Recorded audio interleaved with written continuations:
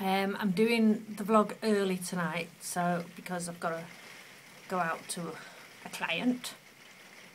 But everything's the same. My skin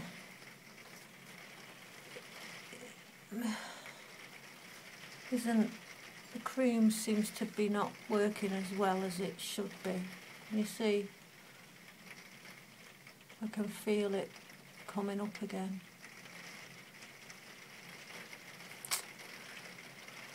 So I might have to overdose on the cream again because I've only been doing it once a day. Maybe I should be doing it twice a day. But I'll get home from seeing this client, I'll get in the bath because it's it, it's the only way to get bloody warm. It's freezing, really cold. Um, I even wore Nom's jumper to work because it was that cold. So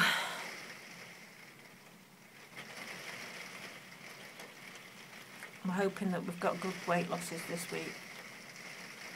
You know, we have been weighing ourselves and fingers crossed we'll both go under the stone that we're on. So I'll be in the tens and Nom will be wherever Nom will be, it's a. So that's it really. I've not got much else to say. The diet's going well, won't be having anything to eat until I get back, so I'm going to be pretty hungry. It's raining again, can you hear? Miserable. Never mind. Uh, got to finish off that first cardigan tonight. I've got two sleeves to do and um, the button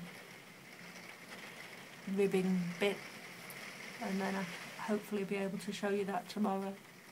If not, it'll be Saturday. Because we've got to catch up on TV. I've not watched any TV again this week. So, I don't know what's happening in the world other than England's underwater, basically. So, the rabbit escaped this morning when I was feeding her, when Nom was feeding her. And he just got back from a night shift, so she ended up keeping him up until half eight this morning because she wouldn't go back in the cage even though we plied her with apple and carrot, she still wasn't interested, so law to herself. and he kept threatening her with rabbit curry, which isn't very nice, is it? Anyway, right, I will speak to you tomorrow, nearly at weigh day. Thank God. I just want these the weekends to come sooner, and the weeks to be shorter. This day's dragged today in work. But I will see you tomorrow. Bye.